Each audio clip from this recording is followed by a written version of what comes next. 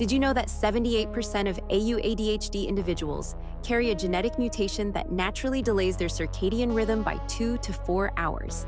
This isn't about poor sleep hygiene or laziness. It's actual neurological differences in melatonin production timing. While the world expects you to wind down at 9 p.m., your brain is hitting peak alertness at 10 p.m. That morning grogginess lasting until noon, that's biology, not choice.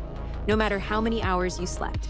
Society labels this as being lazy or undisciplined. But here's the twist.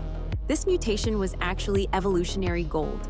Ancient communities needed night watchers, guardians who stayed naturally alert while others slept. Your ancestors were the protectors in the darkness. But here's the mind-blowing part. Forcing early schedules creates chronic sleep deprivation that doesn't just mimic ADHD symptoms. It actually makes them worse. Your brain fighting its natural rhythm every single day.